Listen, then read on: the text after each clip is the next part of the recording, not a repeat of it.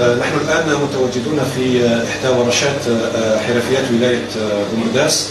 شاركت غرفة الصناعة التقليدية والحرف بالتنسيق مع مديرية السياحة والصناعة التقليدية لولاية بومرداس في الهبة التضامنية التي من خلالها تم صنع آه، آه، الكمامات وكذلك الألبسة الواقية وتوزيعها على المؤسسات الاستشفائية وبعض الجمعيات التي قامت بالتعقيم والتي قامت وشاركت في هذه الهبة التضامنية وكذلك بعض آه، الهيئات والمؤسسات. والآن ينطلق قطاع السياحة والصناعة التقليدية والعمل العائلي في شقه الخاص بالصناعة التقليدية في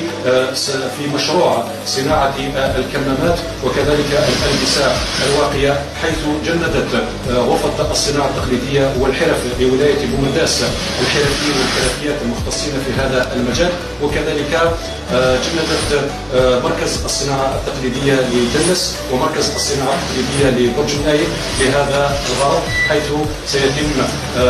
صناعة هذه الكمامات والألبسة الواقية ووضعها في متناول المواطنين والمواطنات بعد خروج قانون إجبارية وضع الكمامة في الشوارع.